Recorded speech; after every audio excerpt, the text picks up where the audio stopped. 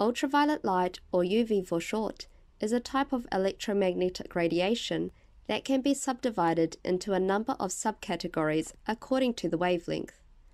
Nowadays, UVA, UVB, and VUV are the three main types of UV light, commonly used for skin conditions.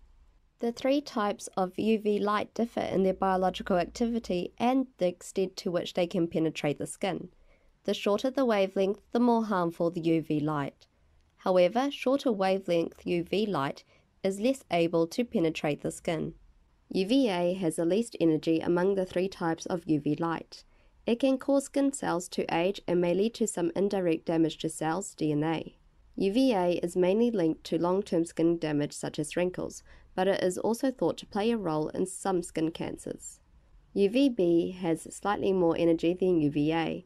It can damage the DNA in skin cells directly and is the main UV light that causes sunburns.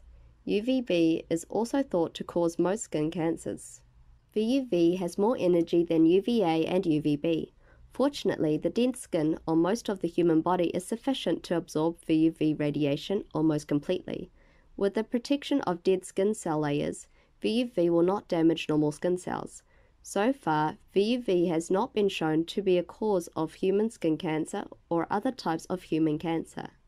By combining with a drug called psoralen, UVA can help with some skin conditions.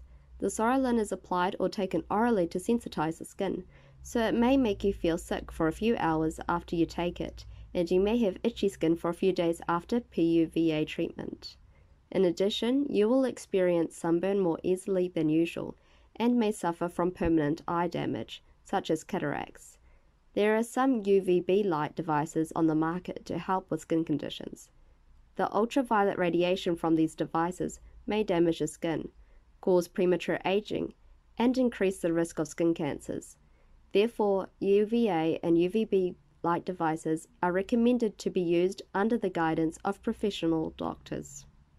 Compared with UVA and UVB, VUV is easier and more convenient to use.